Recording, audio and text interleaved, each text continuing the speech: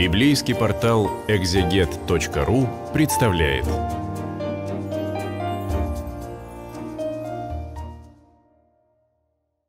Книга «Бытия», перевод Российского библейского общества, вторая глава. Ну вот первую мы прочитали, да?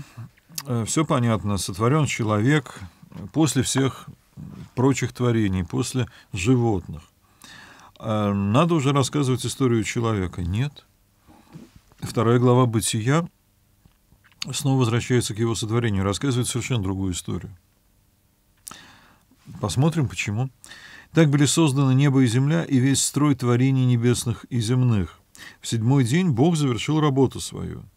А, кстати, а что это значит? Э, строй творений небесных и земных, там то самое слово «цава», которое обозначает войско, армию. Значит, получается, что э, вместе с землей сотворены не сразу, пускай мы читали в первой главе, живые существа разные, и вместе с небом тоже, хотя о них ни слова. Почему Библия ничего не говорит о сотворении небесных творений? Хотя они тут явно есть. Или это птицы, может быть, птицы, которые летят э, под небом, но э, такое ощущение, что все-таки нет.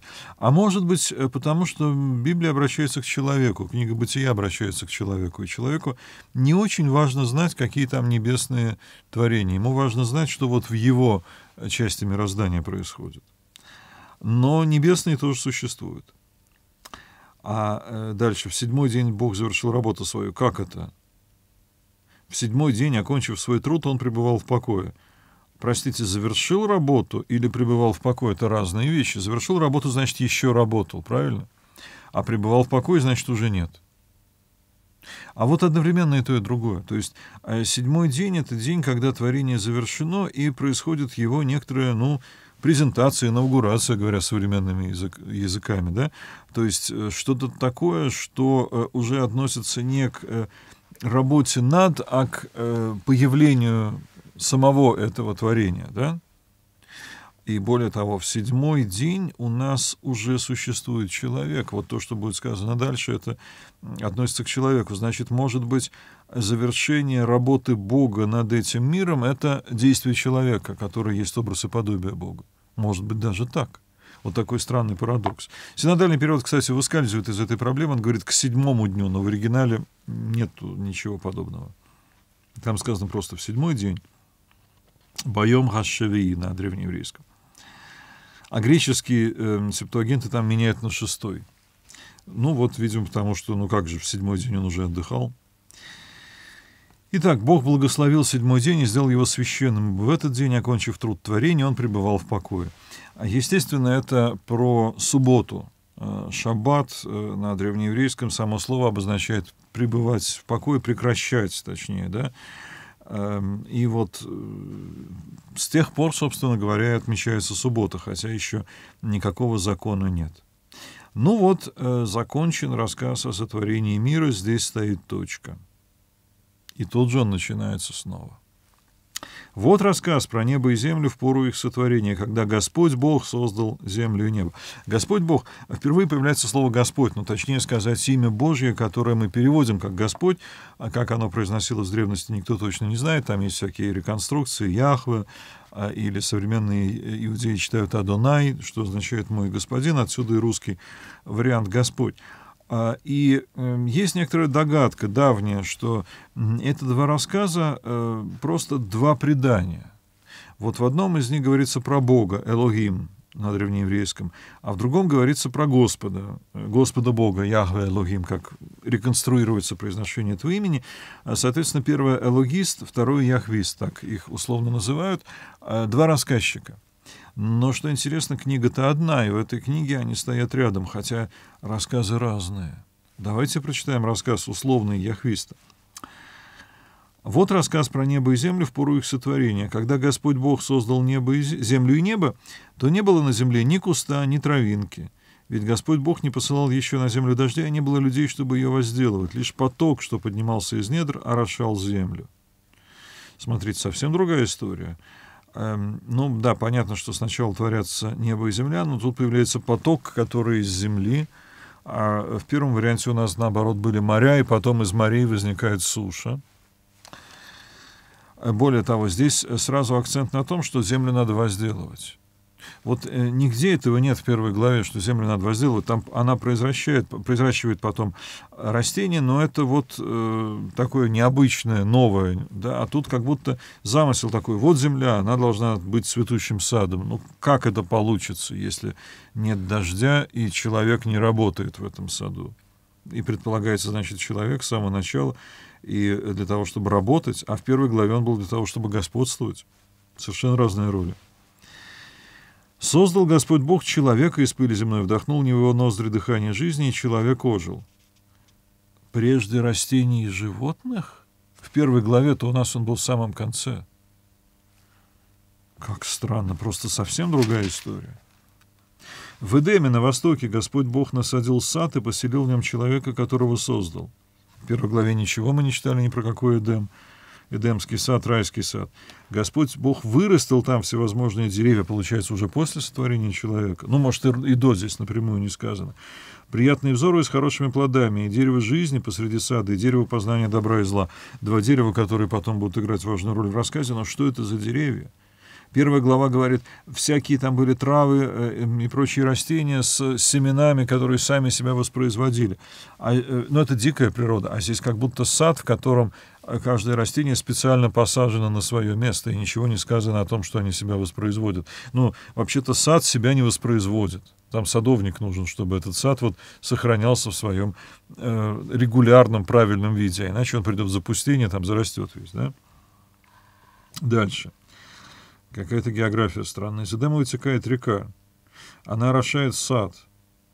Вот это очень важно, чтобы сад орошался. Да? Для Древнего Ближнего Востока, а мы читаем изнутри, стараемся понять изнутри этого Древнего Ближнего Востока, орошение — это важнейшая вещь. Там в Египте воды Нила, в Междуречии, Тигры, Ефраты, каналы, которые проводятся и там, и там. Э, а тут Бог орошение устраивает. Не нужно работать тяжело на оросительных каналах. Она сад, а дальше разделяется на четыре рукава.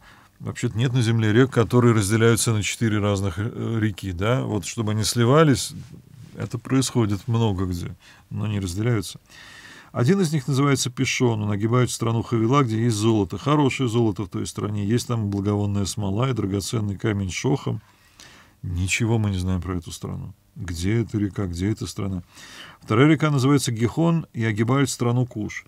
А про Куш, ну, обычно имеется в виду э, более-менее Эфиопия, да, и вот, или там Судан, то есть Африка к югу от Египта.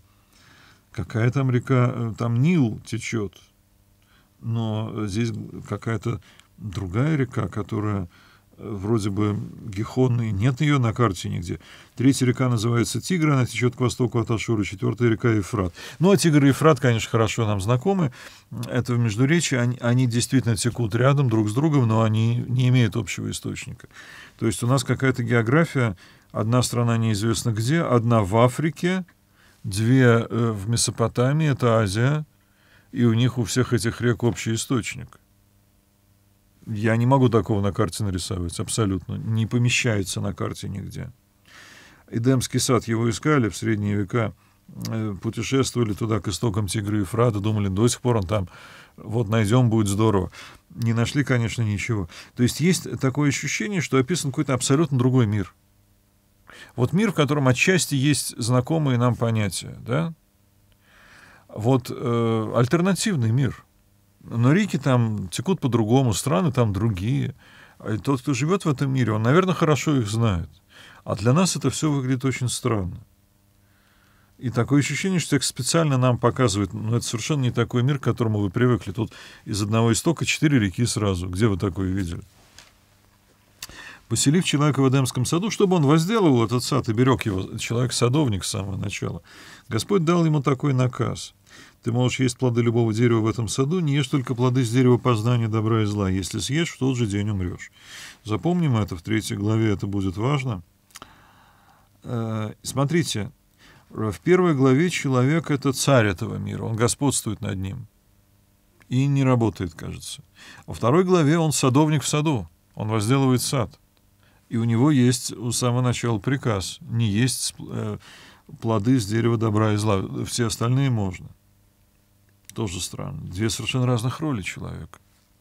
Но дальше просто удивительно. А помните, в первой главе человек сотворен мужчиной и женщиной, и человек сотворен после всего остального. А тут пока у нас есть просто человек, а человек по древнееврейски это Адам. То есть, когда мы видим слово Адам, у нас это имя, а тут это имя и одновременно человек, вот вообще любой человек. Господь, сказал, Господь Бог сказал, «Плохо человеку быть одному, сотворю-ка я для него помощника ему подстать». Господь Бог создал из земли всевозможных зверей и птиц и привел их к человеку, посмотреть, как тот назовет их. Какое имя даст человек животному, так оно и будет называться.